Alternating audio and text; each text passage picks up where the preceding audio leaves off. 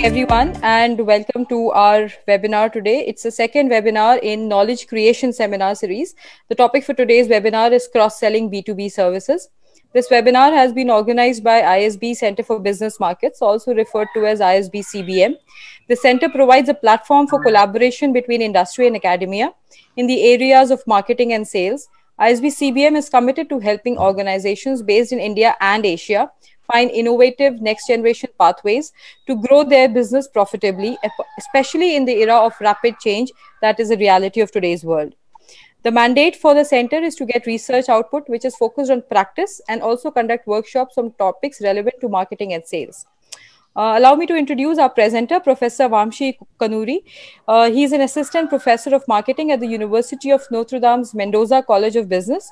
His research evaluates the performance and consumer welfare implications of marketing strategies within the domains of social media services and multi-channel marketing using econometric optimization and machine learning techniques. Professor Kanuri's research has appeared in leading marketing and management journals. He frequently consults with companies on a variety of marketing problems and builds statistical models that aid in managerial decision making. Our industry expert today is Ms. Jigyasa Kishore, who is the global director for SaaS platform at Moglix. She's an extensive she has an extensive experience in product design, business planning, geo expansion, enterprise tech sales, enterprise enterprise marketing, business development partnerships. Jigyasa is an astute planner with the qualities like professionalism, team building, and strong communication skills. This webinar will be moderated by Professor Kiran Pereira, who is the assistant professor of marketing and a BAT research fellow at Indian School of Business. He has been a visiting scholar in the marketing at UNC Kenan Flagler Business School in fall 2018 at Texas University, Texas Tech University. He has won the 2017 Helen DeVitt Jones Excellence in Graduate Training Award. In addition, he has been recognized for his outstanding contribution to research and teaching as a doctoral student by the Rawls College of Business, Texas Tech University. Prior to his PhD, Professor Pereira worked in management consulting and corporate strategy. Uh, just last thing before we get started, we'll be taking over the questions after the presentation. So please keep sending us your questions in the chat as and when you have them, and we'll take them uh, at the end. So Professor Pereira, over to you, please. Yeah, thank you very much, uh, Asta, uh, for the wonderful introduction and uh, welcome everyone uh, for the second uh, round of uh, uh, knowledge creation series. And uh, these um, presentations are actually focused on bringing um, academic research to practice. And we have two wonderful speakers here. one, Professor Vamsi, he will actually bring his latest research and he will present his uh, research uh, for about 15 20 minutes and then jigyasa will actually um, you know comment on the practical implications of this particular work and what can be actually further done in this area I, uh, I will be moderating this session and uh, I'll take care of uh, your questions. So you can just shoot me your questions directly, and I will moderate the Q and A. Um, so without uh, further delay, uh, Vamsi, over to you. Thank you so much, uh, and uh, thank you, Kiran and Raghu, for having me on. Uh, it's a pleasure. So let me uh, share my screen if that's okay with, uh, with you. Um, I'm trying to share the screen. Okay, there you go.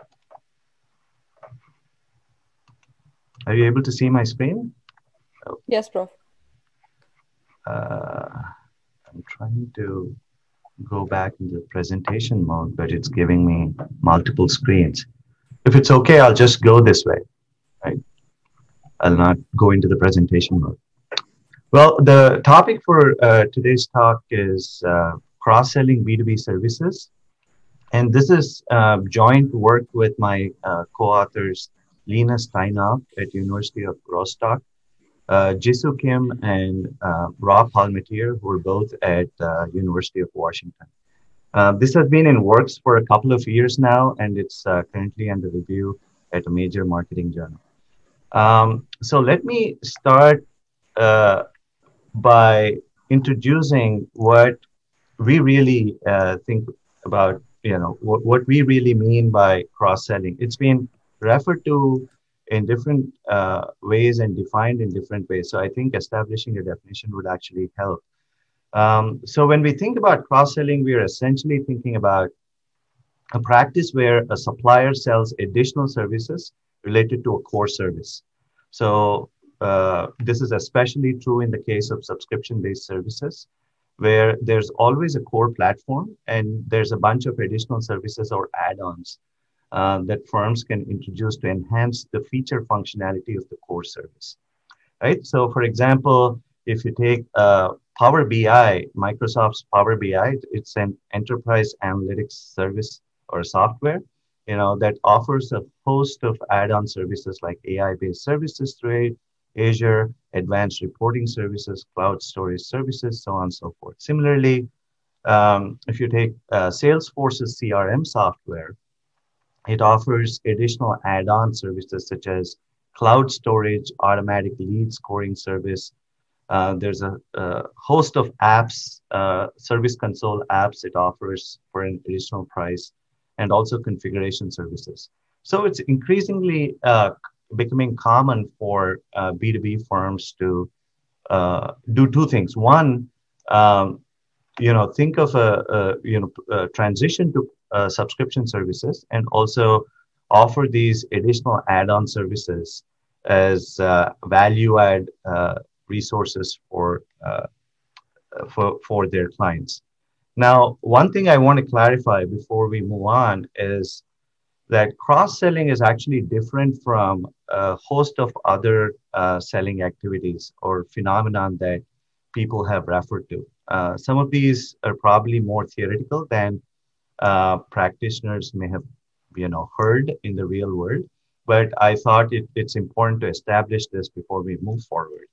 Now, cross selling is different from solution selling, wherein firms could be uh, selling a core service along with unrelated services. Um, they're selling services, they're selling add ons, but they're not really related to the core service. Service infusion could be could also be seen as the same uh, in, in, the same light. You know, firms could be selling a core service, uh, but adding on additional services that are not really related to the core service. Service transition is usually referred uh, is um, usually used to refer to cases where firms are actually uh, moving from product-based businesses to service-based businesses. And service bundling again could include uh, unrelated services. So cross-selling in, in our particular context or in this particular presentation will be referred to as services that are being sold in addition to the core service but all of these additional services are related to the core service. Now, cross-selling in, uh, from what we understand and from our study, uh, cross-selling uh, in subscription-based services is actually different from traditional B2B services. In traditional B2B services, our understanding is that um, uh, the selling happens, the selling of the core service and the add-ons happens in multiple stages. So there, in the first stage, you know, firms t- typically tend to just focus on the core service. They sell the core service, and sometimes they may sell one or two additional add ons with the core service, but it's primarily the core service. And after some time has passed, once the client actually gets to know what the core service is and what the value of the core service is, uh, it's then uh, that the supplier, you know, embarks on uh, cross-selling activities like selling additional services. Now, traditionally, it's been it's been believed that cross-selling uh, in in these traditional B two B services, where selling happens in multiple stages, um, can deliver uh, sticky customer relationships, increase uh, customer retention, purchase uh, also increase purchase frequency of customers, uh, the contribution margin, um, CLV, and profitability. However, majority of the research, uh, I would even go to the extent of saying all of the research in cross-selling has primarily been limited to uh, traditional B2B services. Um, but you know, and, and that's where I think this study that I'm going to be presenting uh, will contribute the most because, as we know, uh, for those of us in the subscription B2B subscription services industry, uh, the subscription services uh, in the core service in the B2B subscription uh, industry actually sold along with a whole bunch of uh, add-on services. So both the selling of add-on services and the core service happens in one stage and at the majority of firms uh, in the B2B subscription services.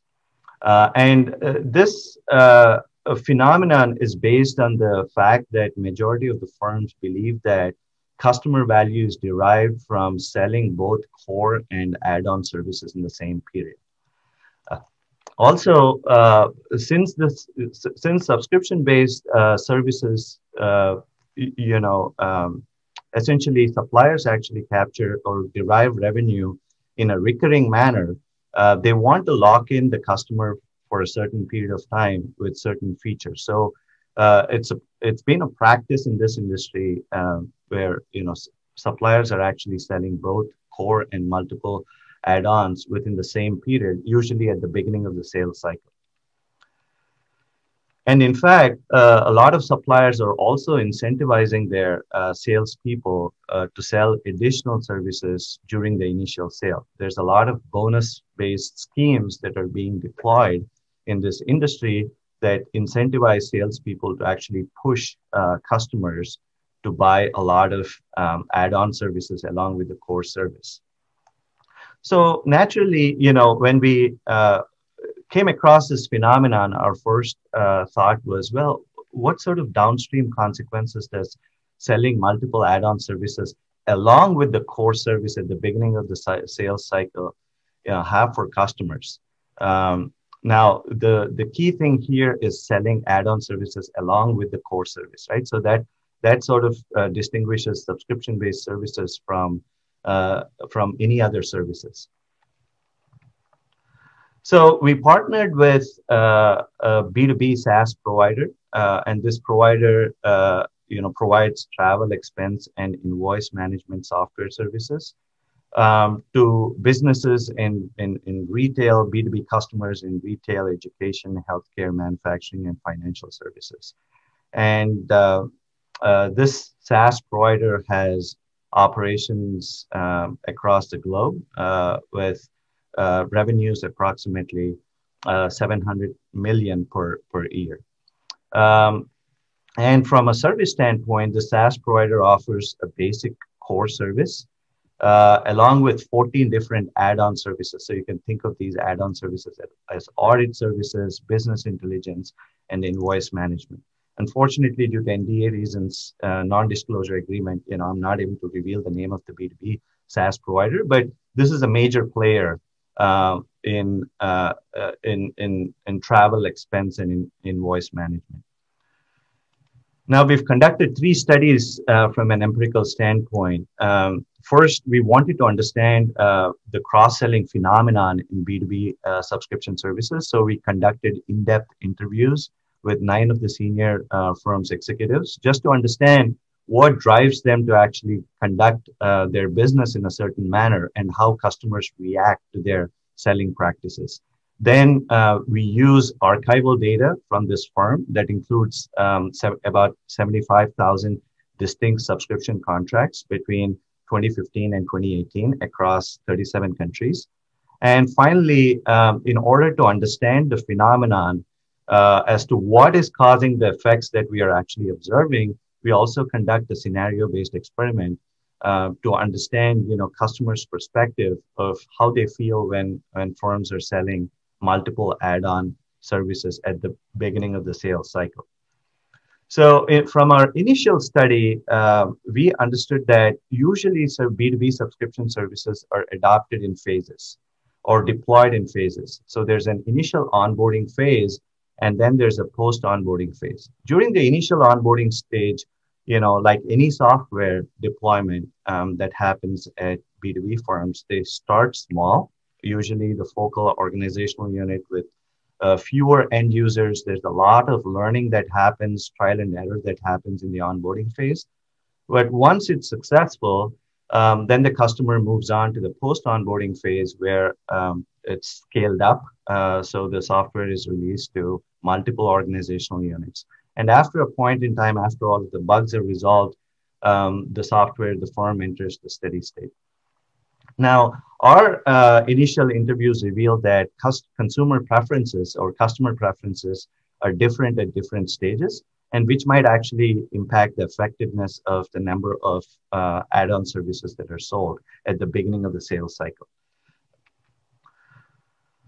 So specifically in the onboarding stage, uh, we learned that a lot of end users are learning about the new service and service offerings. Uh, at the same time, organizational units are evaluating how the new service will uh, deliver value and how it will fit with the existing processes that the firms uh, are adopting, that the organizational unit is adopting.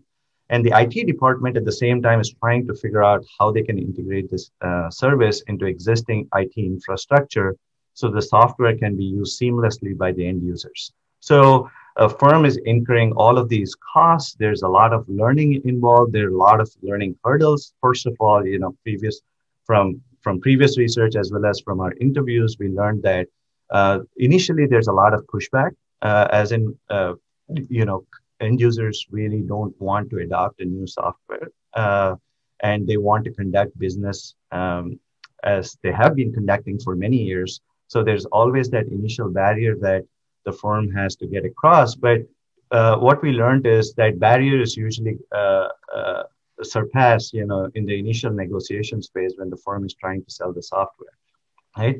However, when it starts deploying in the onboarding phase, that's when the real learning starts. Um, the the supplier firm sends uh, salespeople and, and technical experts that actually uh, transfer knowledge to end users, help end users get acquainted with the software, and so on and so forth. When a lot of this ha- is happening, as we, we, can imagine, what we found in all of our studies is that selling a lot of add-on services along with the core services, uh, core service, um, uh, exponentially increases the perceived complexity of the service um, we've got to understand, you know, when for when the customer is adopting this new service, there's already uh, this negative uh, notion of, you know, that this this new software is going to cause cause a huge disruption in their day to day life, and um, which is why you know they're they're beginning with the mindset that this is not going to work, and additional uh, add-on services will only increase that perceived complexity. And that increase in perceived complexity uh, is strongly associated with, negatively associated with uh, the retention in the onboarding state. So we we were seeing uh, at firms, you know, where this perceived complexity was really, really high, uh, customers were dropping out in the onboarding phase. Right. However, once uh, a client gets past the onboarding stage, uh, end users would have already incurred a considerable uh, cost in the learning cost in terms of gaining experience with the services. Organizational units have understood the value. The IT department has already integrated uh, the new service with existing infrastructure. So the firm, the customer, uh, uh, actually uh, has this perceived notion of sunk cost and um, you know so it's likely to actually embrace services uh, more services as opposed to less services. So at this point it's trying to actually uh, uh, derive more value out of the software. So what we uh, noticed was the perceived switching costs uh, at the customer go go up. Now this is again you know we'll have to remember this is contingent on uh, on the customer making it to the post onboarding stage right so um, the add-on services actually lead to higher perceived switching costs, which then leads to higher retention in uh, post-onboarding stage. Now, another thing we also observed was uh, the communications actually play a huge role in mitigating the uh, the, the perceived complexity or uh, increasing the uh, perceived switching costs. Uh, specifically, um, what we also noticed, this has been an industry trend uh, in the last couple of years, that suppliers are increasingly replacing their uh, field salespeople with uh, with remote support, you know, for cost and efficiency reasons. As IT uh, technology is widely adopted, you know, these internet communication tools, um, for example, Zoom, you know, we've seen in the recent past that a lot of firms due to the due to uh, the pandemic have really gotten used to internet communication technologies. So as the adoption rate goes up, suppliers are taking advantage of this and moving uh, a lot of their support services uh, to um, uh, to to you know from field to remote, right? However, uh, what we noticed in our research is that this is actually this causes uh, uh, this is a downside for for some of the mechanisms we were observing in onboarding and post onboarding stages, specifically what we noticed is um, while richer communication channels enhance, uh, actually, uh, this needs to be a negative, uh, mitigate the perceived complexity.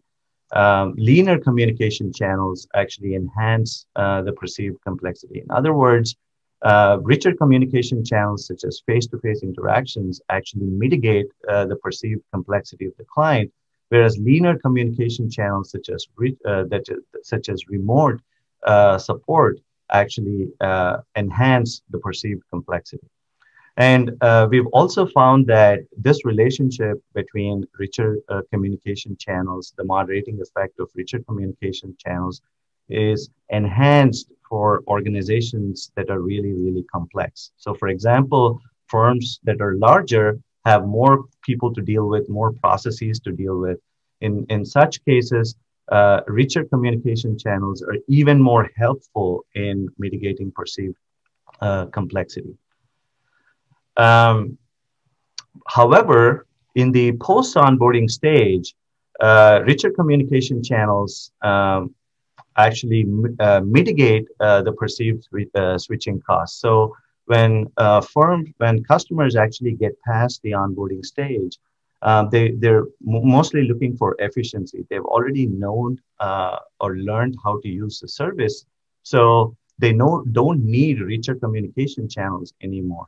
Um, they need leaner communication channels. They're looking for efficiencies in terms of just getting uh, you know information on what they're uh, precisely on what they're looking for. So they don't need face-to-face interaction. So richer communication channels are actually less effective uh, in the post onboarding stage. In fact, leaner communication channels that such as remote support are more effective uh, in the post onboarding stage. So overall, what we find is that uh, as firms sell, as suppliers sell more add-on services at the beginning of the sales cycle, um, you know, customers are, are, are facing this increased uh, complexity or, or perceiving increased complexity in the onboarding stage, which is leading to less retention in the onboarding stage. However, once customers get past the onboarding stage, they perceive they perceive higher uh, switching costs, which is leading to more onboarding stage. Now, obviously, we are probably thinking about okay, so what is the right uh, number of of, of uh, add-on services to sell at the uh, beginning of the sales cycle? And um, you know, we were also uh, confronted with that question, and our, our collaborating partner uh, firm wanted to actually understand uh, what is the optimal number of add-on services to sell at the beginning of the sales cycle. And it turns out it's three. The magic number is three,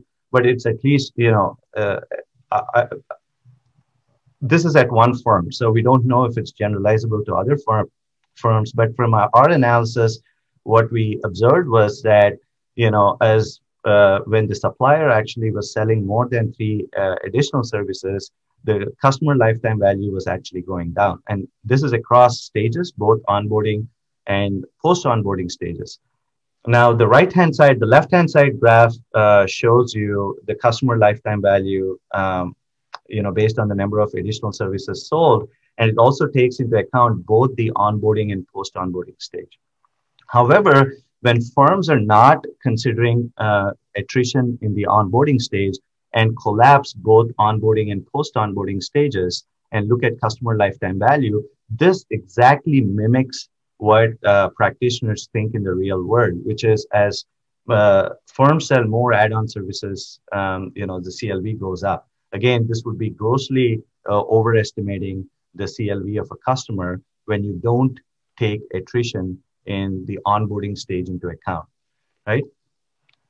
And this bias actually uh, goes up uh, in different conditions. So we were looking at, you know, what would be the bias when, um, the organizational size is low versus high when firms use uh, tele support versus online support, face-to-face uh, support.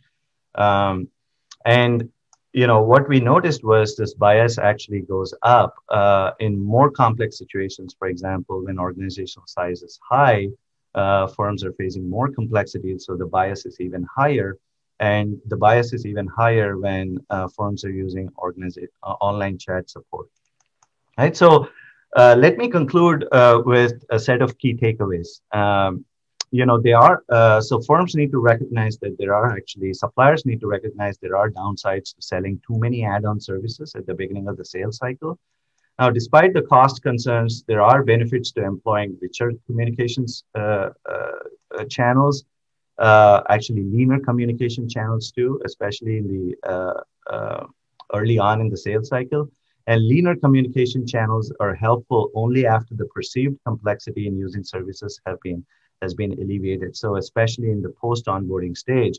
And what we also found was ignoring the onboarding stage leads to gross overestimation of the returns from uh, cross-selling B2B services. So especially as more and more B2B services are moving towards uh, towards subscription-based services, it's important to actually estimate uh, CLV not as a whole, but actually split it up based on, on the phase uh, of deployment, phases of deployment, and then cumulatively assess uh, the uh, returns, you know, on um, selling these add-on services. With that, uh, let me turn it over to uh, Jigyasa. Thanks, Prof. Um, so what I have done is, um, and you know, thanks for sharing in advance the you know crux of the four uh, findings or uh, the four hypotheses that you've been testing with this particular organization. Um, if I may share my screen, I have put together a, a small uh, four slider, and I'll mostly be, you know, talking through example. Can you guys see my screen though? Uh, not yet. Not yet. Maybe I have not shared correctly. Let me. Um,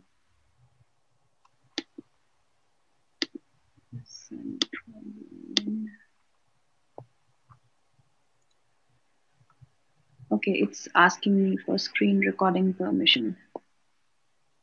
Just give me a moment.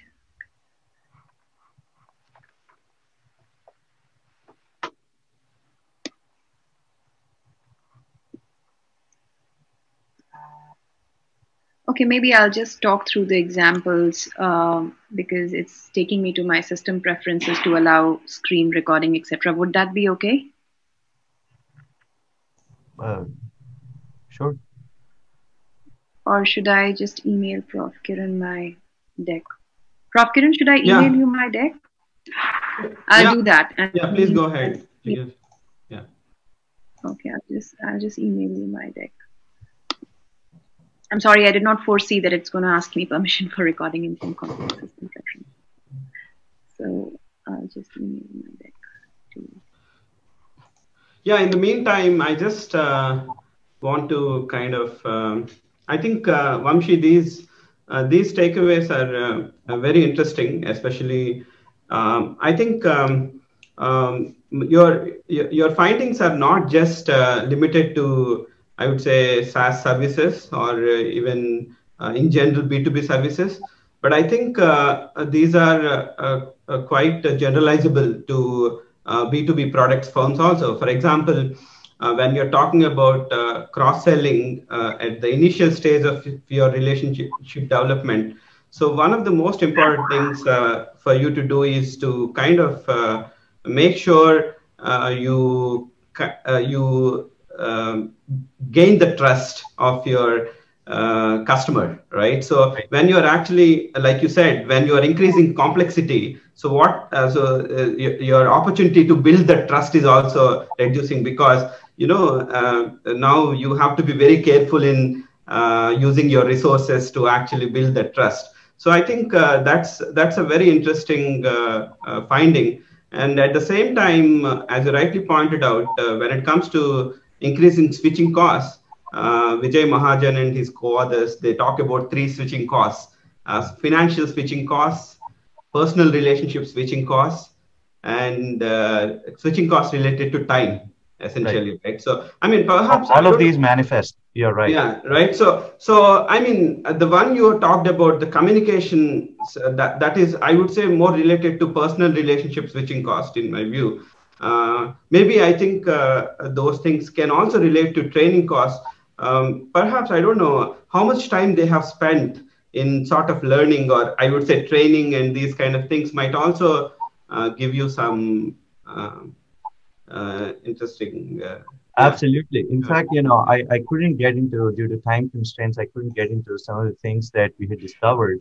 You know, one thing we actually heard quite a bit in our uh, qualitative interviews from different mm-hmm. managers is the power of first impressions, right? Mm-hmm. This goes back to your point on trust, right? So there's a, and, and firms usually have a very short span of time when they can make that impression.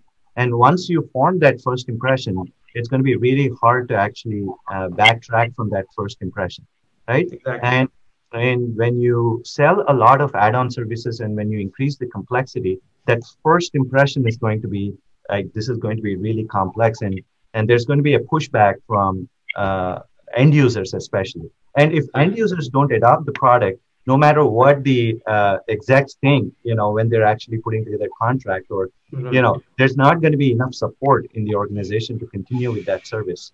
So we were seeing, we were observing that a lot of end users were actually pushing back when the complexity tends to go up. So that first impression, and we were not able to capture that first impression through our archival data sources, but we believe very strongly um, that that first impression really matters, especially in B2B services.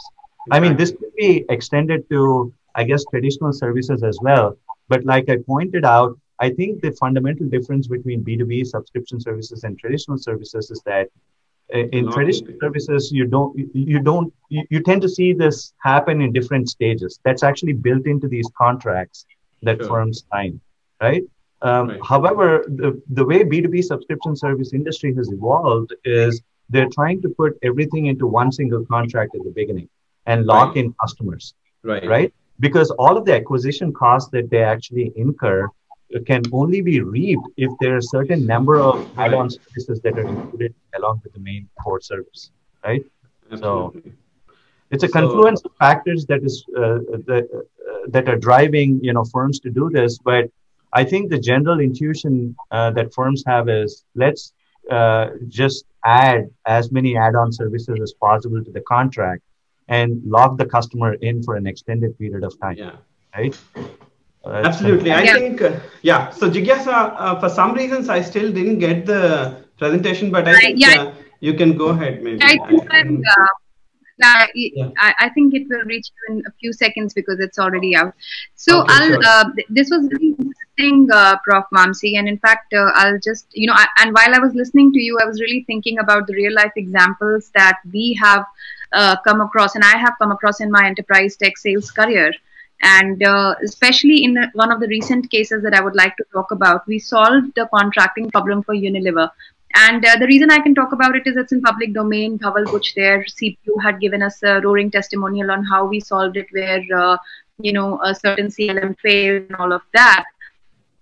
Uh, one thing that we have discovered as startup, and uh, uh, uh while we talk about uh, you know selling services or even products, is that um, it's it's really that you know inflection point where a salesperson wants to bundle or sell as many um, you know add-ons versus what is the real and the most you know um, sort of telling problem that we are trying to solve.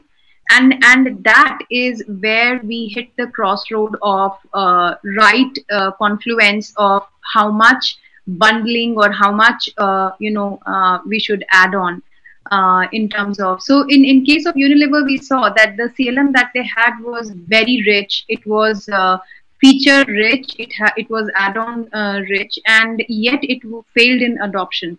So, you know, we have this concept of selling MVP first because adoption becomes really the key. So, what is the minimum viable product and why is it important to sell the minimum viable product and be the champion and say you know what you need to only spend so much this is going to be minimum viable product and you should not try to do phase 2 before doing phase 1 and we have seen whenever we have uh, practiced this with our client in fact we always practice this with our clients we have achieved much greater success than trying to make it a, a, bigger sale. And, and we see this in our MRO services also. We do not ever go and tell them that we can, you know, solve 90% of your problems. We, we get into the detail, we discuss, and we try to find out that what is it that we can really solve for. Um, and if it is only 30%, we come back and say that you know this is the 30% of problem that we can solve and rest we can do in phase 2 or phase 3 if that discussion is required and i would love to hear from you prof vamsi if it in any way resonates with the first point that you made but at least i totally agree because we have seen it in uh, scenarios. And once we were able to sort of solve that contracting problem for unilever we saw that they started involving us in digital transformation discussions where rahul and i would you know go and uh, suggest what else can be done and all of that. Um, uh, which was again an add-on on the current contracting service and not just any solution selling so so that was my sort of point uh, uh for the uh, cross selling in the beginning of engagement uh, so, so, you're you're actually spot on is it okay, Kiran, if I, just, I respond to Jigyasa, or do you want me to wait until she presents? Yeah, please go ahead. Uh, okay. Yeah, sure. Yeah. I, I, I, think I would love to hear your response, Prof. Vamsi, because you know, uh, then it's sort of. yeah. No, absolutely. So I think I think you make a very good point about customer needs and how many how, how much of those needs you're meeting. And uh, from what I understand, what you're suggesting is to the extent that you're meeting the needs and not exceeding the needs needs or you know creating this artificial need for the customer, uh, you will be able to get that gain that initial trust, which leads to more retention, right? Uh, I completely yes. agree with you. I think um, the the problem with the collaborating firm in our case was a mismatch between what the what they were doing from uh, pushing the product standpoint as well as you know from a client need standpoint. Uh, now, if you think if you remember, you know, I'd mentioned that salespeople are being incentivized to actually sell more, right? So from this firm right. and other firms that we've talked about, um, firms are B2B subscription services seem to be moving in this, this direction wherein, you know, their salespeople are increasingly incentivized to sell additional add-on services because the margins that, at least this is my understanding, maybe you can validate, uh, when it comes to B2B subscription services, usually margins uh, firms make margins on the add-on services not the initial core service. If you think about uh, the support that they have to offer if you take all of those costs into account really margins kick in only after a certain number of add-on services so that is incentivizing uh, uh, uh suppliers to have these um, you know bo- bonus based incentive schemes for salespeople where uh, they're they're encouraging them to push as many uh, services as possible. But I see your point. You know, it's really uh, a balance between what the customer wants and what the uh, client can offer. So it's just a, bu- different business practice, I think, in the end. Yeah, um, I, I think uh, you, it's definitely when it comes to uh, pushing the sales quota or, you know, actually uh, you know trying to uh, meet uh, the target revenue or you know really pushing um, the the customer to buy more uh, it, it becomes uh, uh, and, and typically if you look at the crm kind of a solution which is purely subscription based and then they want to sell that one additional report. But perhaps this is not the same in enterprise um, you know saas modules which are highly uh, sort of customizable, uh, so to speak. So again, SAPs of the world or Aribas of the world or Coupas of the world. Um, for that matter, even Salesforce. Salesforce has a MuleSoft, which is like a middleware integrator, and they also do a lot of customization for customers. So, so in those, there is a lot of way to earn in a in a way uh, by making the MVP more useful for uh, customers. And, and I see, uh, Prof. Kiran, if you can switch to the slide three. Sure. And, and I see that, you know, people really uh, appreciate, uh, you know, if, if uh, the adoption is uh, very good. Because that's where they see for bang for the buck and uh, that's where they see um, and and you know very interestingly uh, prof. Vamsi and prof. Kiran what we've seen is that when we are competing with a lot of vendors and there are these rounds of demonstrations and all of that um, one such demonstration i was part of because you know i was part of the digital transformation team at unilever while i was their vendor. And uh, uh, you know i mean excuse my french but we thought that it was a feature puke. And and and the kind of thing that was being sold it just increases the complexity for people to understand. And you know it just scares them that how and you know as a rule the technology should uh, offer that every next innovation or every next change should make it easier for people to work rather than you know pushing them to learn more ways of navigation from one screen to the other or churning out reports. And so so that is and again you know that's the reason people are switching from point solution to a single digital interface and microservices and those kind of things so so that was my point and that at least that's what we have experienced that both in our mro commerce service as well as our saas service wherever we have actually counter pushed the customer that please start small and then grow big. We have won on relationship and we have won on longer term better sales figure also. Uh, so that was one. Second, moving to the leaner communication channels. And it, it sort of goes back to my earlier point of driving adoption. So, you know, some of the uh, B2B SaaS, which is again, uh, have proven themselves by um, becoming unicorns and have done really well in the market, whether they're subscription based or others, have failed in adoption or people switch more often because um, in, in the initial phase, there's a lot of hand holding that is required. Now, whether that hand holding is remote or it is face to face doesn't really matter. But in, um, so typically, you know, uh, uh, an example would be switching from a waterfall kind of a software development to an agile methodology of software development. Now, one thing that becomes really important is in agile kind of software these mini UAT phases. And you know why these mini UAT phases are so important? Uh, these phases are important because you are taking the product to the end user even before the final release, and there is so much engagement, there is so much insight. Does not mean that it has to translate it in, into customization, but and again, I'll go back to the same example uh, the the contract management had become so complicated at Unilever that they had to introduce a layer of service management team who would just sit and input the contract. Now, when we rolled out, UAT one was in uh, Istanbul. I had traveled there, and I was in a room full of people who had just opened the solution, which is iCat. And even before I could start the training or tell them what to do, they had created a contract already. And that was just phase one of the solution. It had it hardly had any features. It had like four features out of 30 that were to be rolled out. And they were so excited about it.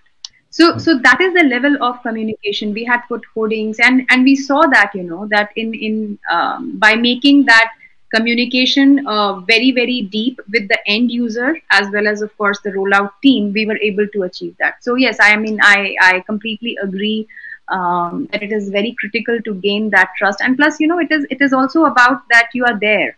It's not like i'm going to sell the software and then you figure out your life because i got my check.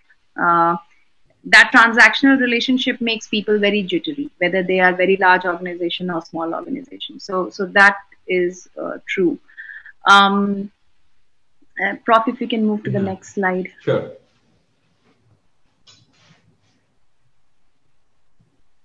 yeah and uh, sorry i think it was uh, yeah balancing oh, innovation yeah, sure, and risk yeah, yeah. so um, again you know uh, i think uh, it's also about uh, the complexity of deployment and uh, you know reducing the complexity of new solutions. So uh, going back to my point of uh, the new technology has to always be sort of better than the uh, current technology. But at the same time if if you sort of uh, you know have too many add-ons and and if you talk about uh, you know how the legacy uh, systems are going to be a sunk cost it actually i feel scares people. And and going back to the point of you know why a lot of people that we're talking to in europe and us are actually looking at you know getting a single digital interface and they don't want any more point solutions. So so it's again about simplification. I mean i don't know i'm just going back to the theme of simplification again and again because that's what we are seeing at least in the procurement and supply chain uh, field. So prof. Kiran prof. Vamsi i don't know if you can come in and comment on that and i don't know how you feel about it or what you've been experiencing. So Jigyasa, just to clarify, is your suggestion to um, include a lot of features already in the core product so you have very few add-on services to offer? Uh, is was, was that your recommendation or no. In fact my recommendation was to keep it as simple as possible.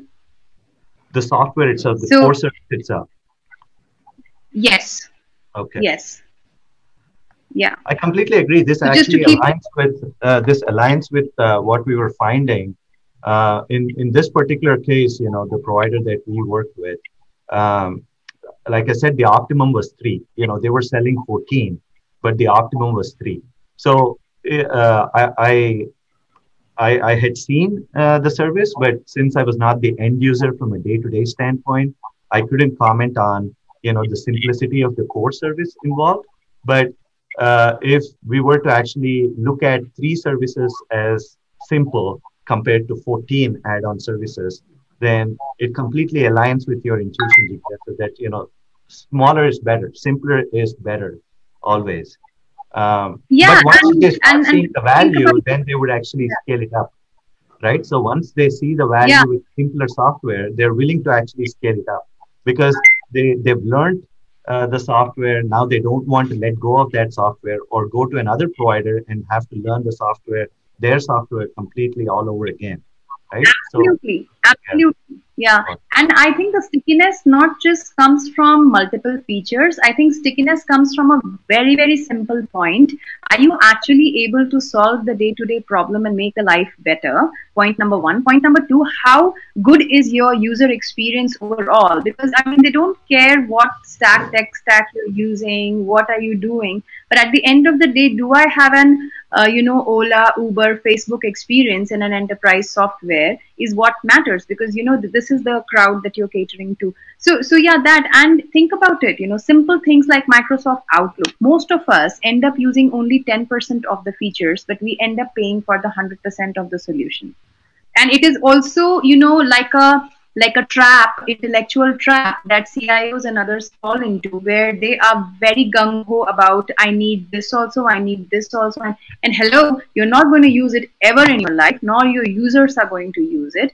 It's just going to make your, you know, stack more and more complicated, and and it's going to and you know this kind of a fresh view a lot of uh, established software vendors are not able to um, offer I feel that, you know, when I enter into these conversations, I always throw a caveat that, you know, at Moglix, since we are practitioners and not a typical software vendor, I'm able to have those conversations and convince them if you want five features, let me give you three, or if you want 10, uh, let me give you five, and then we'll see how we build on it. Because maybe you don't need the six, seven, eight, you will just need the 11th one to make your life complete. You know, so, you're spot so, on so, because if I could quickly comment on that, you're spot on because you know what we were also observing in this particular case was salespeople were directly in the in the in the buying cycle, right? So you have the buying organization comprising of different execs, along with you know an end user. But end users are grossly underrepresented in the buying cycle. There's probably one or two uh, end users, but it is those users that actually have to look at the software day to day. So when salespeople are interfacing in the buying cycle, they're primarily interfacing with uh, decision makers and financial you know folks it folks and, and people like that. And they're able to offer these discounts to these people who actually don't use you know the software on on a day-to-day basis. So you're right in the sense that you know we also noticed that um, in the buying cycle you know people were actually wanting more you know to add everything right to the software so they can get the best deal. So they were focused on deal making as opposed to day to day activities, right? Exactly. Exactly. So it's like if you give me 10 features for 5% discount, I might end up with that perceived feeling of walking away richer. But then when I come to ground uh, reality of deployment and adoption, I might just miserably fail because I have complicated it beyond uh, it's required to be complicated. Right. And, so, and, and that's where I, yeah, this yeah. Uh, really matters. Yeah, yeah, Jigyasa, I just want to add uh, one thing to uh, what you mentioned.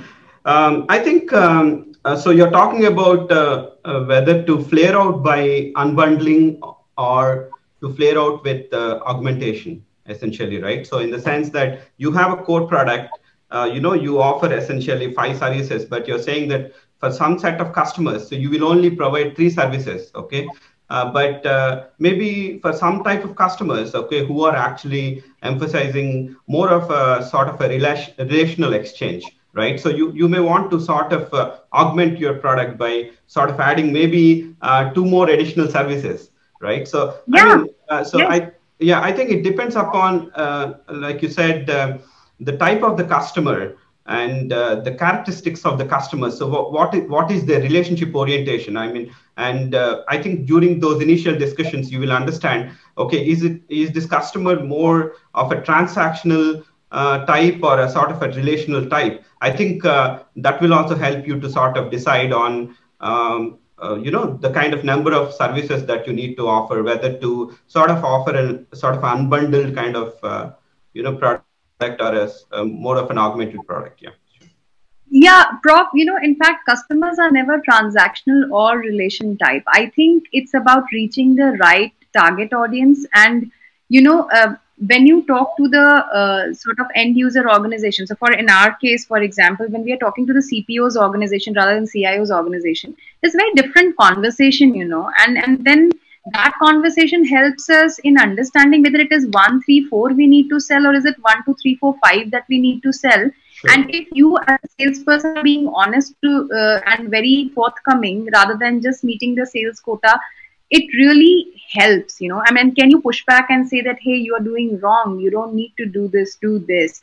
And i have seen how it helps in building trust. So interestingly you know we spoke to uh, at least six to seven fmcgs headquartered in europe. And and they were like uh, you know okay this kind of solution we have not seen or we've not heard. And so basically somebody told them to buy these five things or one suit or something like that and it was a crazy amount of spend and complexity. But then you know when you go and tell them that this is exactly what you want to do then they resonate more with you. And that relation builds by the way after that. So so at least that has been my experience. I'm, yeah, I'm sorry it's a wider yeah of course yeah. Uh, sure.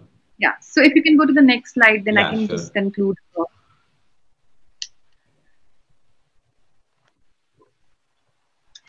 Yeah so um again, I, I am a big champion for the connected ecosystem. I have seen uh, um, while you know we try not to experiment too much to become everything to everyone, and you know we've been very very um, uh, selective in branching out only in the procurement and supply chain if that's what we want to do. Um, but a lot of disconnected, and I think Prof also spoke about it I don't know how many people even actually know that, you know, that uh, once Salesforce also has, for example, I'm giving the same example again, a connector, which is a MuleSoft that they acquired. Um, and uh, probably when they acquire it, it's more to reduce the complexity of connecting with, let's say, an SAP ERP because the HCI comes with a higher cost or whatever. But then it ends up becoming an appendage, and you might not be best at it. So then why try to sort of become everything to everyone? Uh, rather than not you know remaining in the connected ecosystem where you can actually um, uh, you know add real value. So for example um, you know while we have a uh, e-commerce portal for b2b uh, uh, which is the large manufacturing the the logical progression of what we are doing is so to begin with we were just integrating with their erp and trying to fetch everything automatically rather than somebody doing a manual input and making errors the logical enhancement was that we gave them catalog based buying that you know what we will give you a clean catalog which is very very rare in indirect mro kind of a world. I mean, while the Graingers of the world are trying to do it, but it's in a very different way. They are introducing the supplier in that ecosystem. So, so we've seen more success in in in that scenario.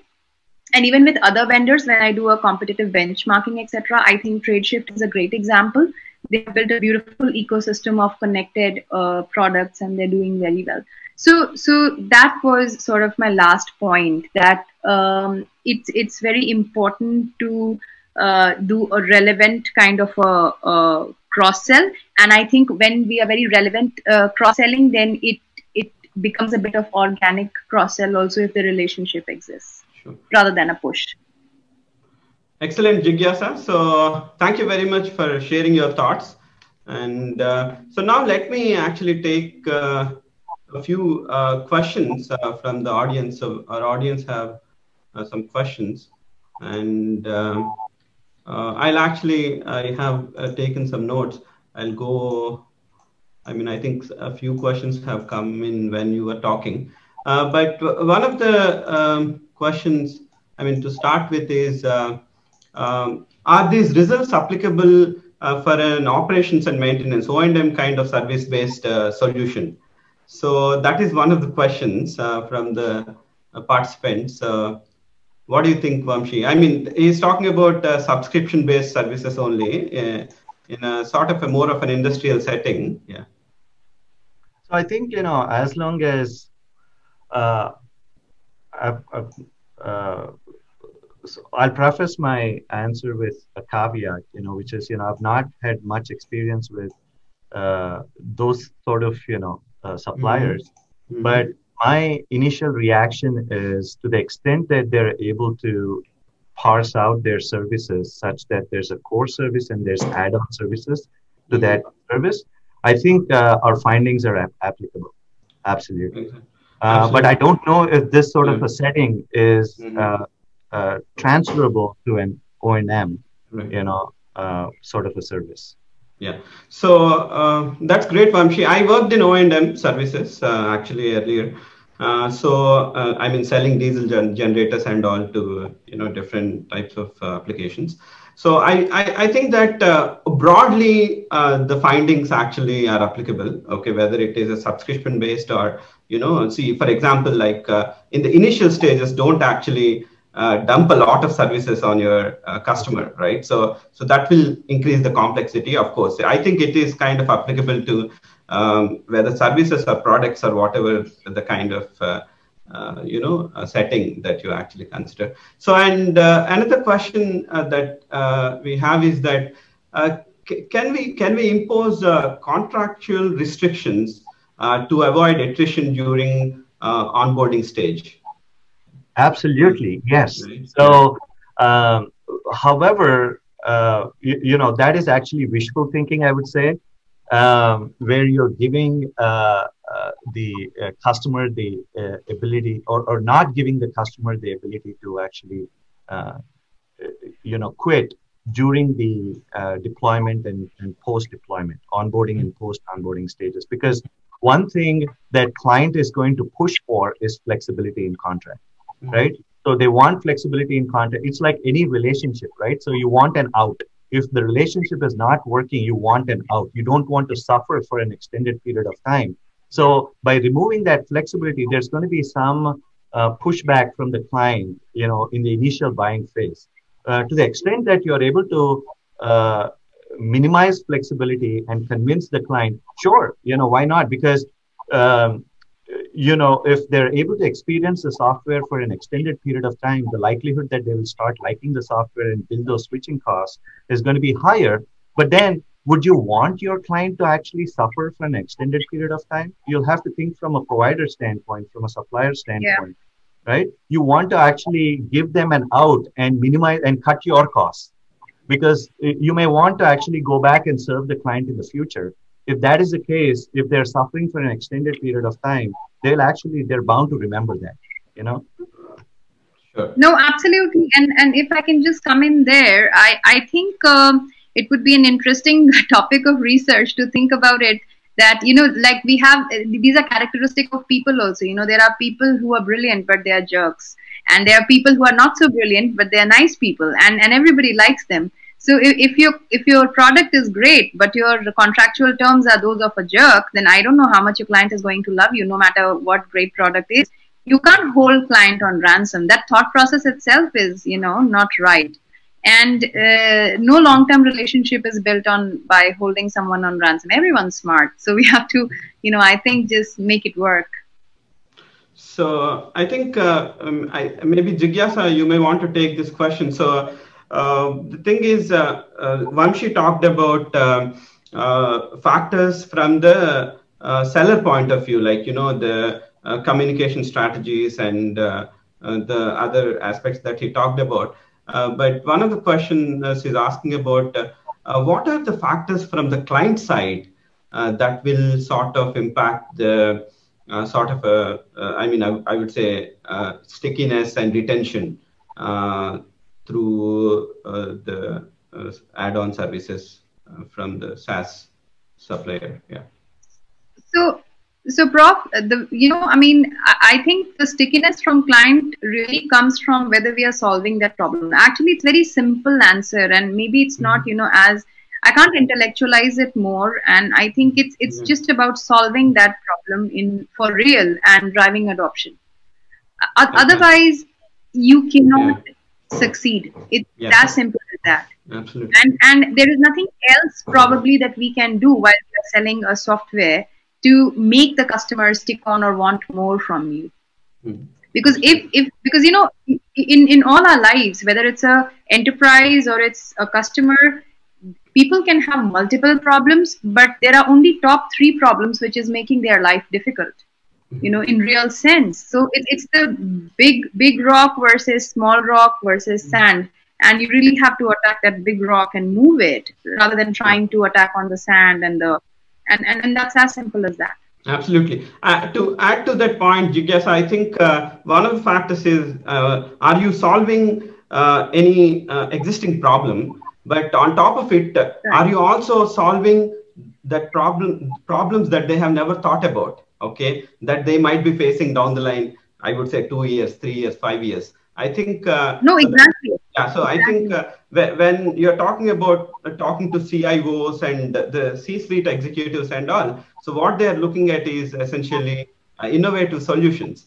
Okay, in the sense that they might there might not be a, an existing need for those solutions, but uh, you know if you can uh, show them that okay these are a sort of uh, I would say latent needs and or the needs that are important for you to uh, perform better in the future. Perhaps I think that. Yeah, no, I agree, and I would like to give you an example. You know, recently there's a one of the world's biggest FMCG. We were doing a POC for them where they wanted to understand that what is the tier four supplier uh, ecosystem look like because of COVID situation. You know, they wanted that absolute traceability now you know i know that blockchain is still far away because you know there is no ecosystem that exists for it and maybe it is two years from now but even while providing a simple app for uh, poc i still would have to talk about blockchain in future.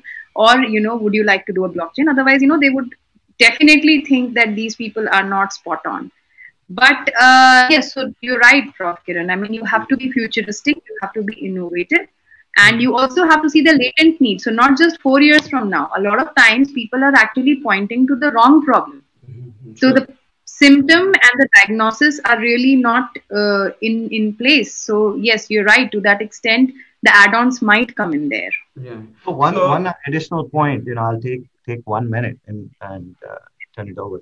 So uh, wh- when we presented uh, this research to the uh, to the supplier we went back and we showed these findings. They were in in uh, in complete awe in terms of the CLV. But uh, another recommendation we made, which seemed to have worked for the supplier, is you know to have more representation from the end user in the buying process. So usually buying process, uh, you know, has a lot of uh, senior execs involved because there's a lot of lot at stake from a financial viewpoint. But however, you know the end users are the ones that actually actually have to deal with the software on a day-to-day basis so if there is more rep- representation in the in the process i think uh, a lot of these negative effects in the initial onboarding stage uh, can be um, alleviated uh, in my opinion so that is also something that uh, you know uh, customers can do, you know, buyer firms can do to have more representation, right? To get uh, that initial buy-in from customers.